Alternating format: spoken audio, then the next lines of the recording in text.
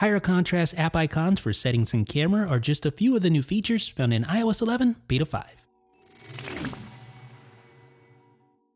Along with its higher contrast, the camera app icon loses the horizontal lines present on earlier editions of iOS. Inside the stock weather app, you'll notice smaller glyphs to represent weather conditions.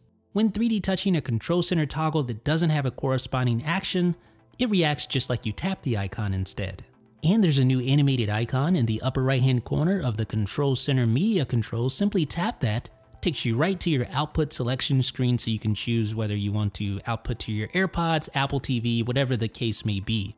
Now you'll also notice a play pause button. This allows you to quickly switch between your normal transport controls and back to your output controls. And of course, you can 3D touch on that widget to go directly to your transport controls and then jump over to the output, just like that. Now the playback control widget in the cover sheet has been slightly modified. At the top, you have your device name, you have your song name, and then you have your artist slash album name. You'll notice a subtle change with screen recording. Instead of that blue status bar to indicate an in progress recording, you now have a red status bar to indicate an in progress recording.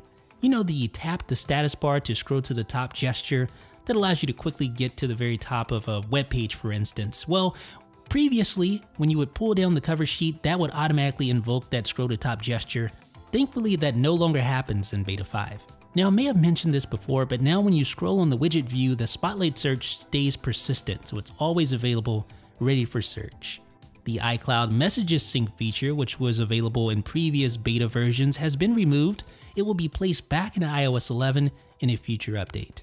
When using Smart Invert, the dock no longer inverts, and you'll also notice a little gray transition when enabling or disabling Smart Invert. The stock camera app's portrait mode now appears to be out of beta. To celebrate, a handy new splash screen to introduce the feature. The emergency SOS settings panel now gets an animation to show you how to invoke it. You know the little blue status bar that would appear anytime an app used your location in iOS 11 beta? Well, that no longer appears in beta 5. Making an outgoing FaceTime call is now accompanied by a brand new ring. This was available on the previous beta, but now you have a leveler when taking overhead shots with the camera app just make sure you have the grid feature enabled in settings. There's a new splash screen for iPad users to help you learn how to switch between recent apps. And the multitasking animation has been slightly tweaked. It now looks like this. And in iOS 11 Beta 5, you now need to authenticate with either Touch ID or passcode to trust a computer that you connect to. More security is never a bad thing. So ladies and gentlemen, that has been a hands-on look at several new features in iOS 11 Beta 5 let me know what you guys think down below in the comments. This is Jeff with 9 to 5 Mac.